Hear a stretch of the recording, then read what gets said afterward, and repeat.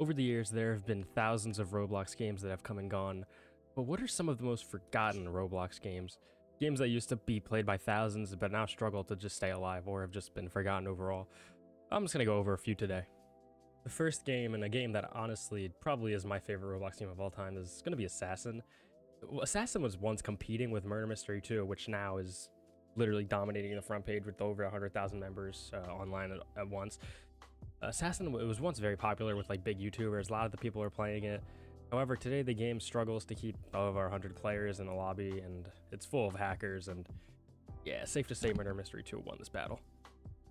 So this next game that I'm gonna say isn't exactly dead, but it's definitely been forgotten over the years. It's gonna be Prison Life. Prison Life was always one of the top games on Roblox every day, you know, back in like 2014 to 2017 until Jailbreak came out in summer of 2017. Um, Jailbreak really killed it. prison Life was like the prison game to play, but uh, now it's just full of like hackers and people with like radios or something spamming like slurs. I don't, I don't know, whatever kids find funny these days. Another game that I actually think was one of my first games I ever played is gonna be Roblox High School. Uh, more so talking about the original one, not like Roblox High School 2. Uh, before 2018, uh, Roblox High School, it was like the high school game to play for role playing and whatever weirdo stuff people are into. But uh, it has legacy servers you can still play on to play the old version, but it's just dead. So no one's playing it. Even Roblox High School 2 doesn't have many players. Like, I think it had 400 by the time of this recording. I don't know. I'll put it in. Uh, whenever Roblox uh, High School, Robloxing High School, I mean, came out, it really just killed it. It killed Roblox High School. So, uh, yeah, kind of died. Next up, very popular game back in the day, 2014 to 2017. It's gonna be Speedrun 4.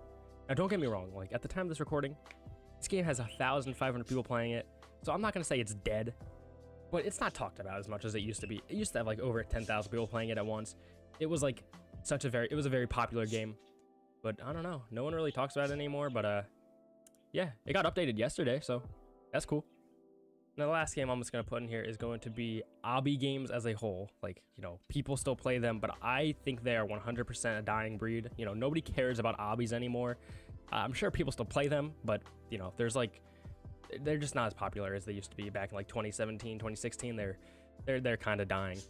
Actually, an honorable mention for this is going to be ride cart into whatever games. Like you know, you get into a cart and you ride it into something or whatever.